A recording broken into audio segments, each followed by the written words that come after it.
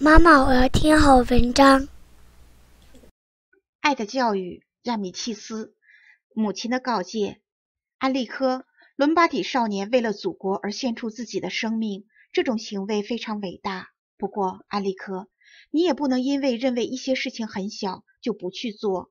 今天早晨我们从学校回来的时候，有一个乞丐母亲怀里抱着一个可怜的孩子向你乞讨。你明明看见了他，却还要装作没看见。你怎么能这样对待一个母亲？安利科，你有没有想过，那个被抱着的婴儿也许正在挨饿？你有没有想过，那个可怜的女乞丐所遭受的痛苦？你如果给了他一个铜币，你就会得到他的祝福，你自己也会感到高兴，不是吗？所以，我经常希望你做好事而受到别人的祝福。经常的，你能从你的小钱包里拿出一枚索尔多钱币来，把它放到没有亲人的老人、没有面包的母亲、没有母亲的孩子的手中。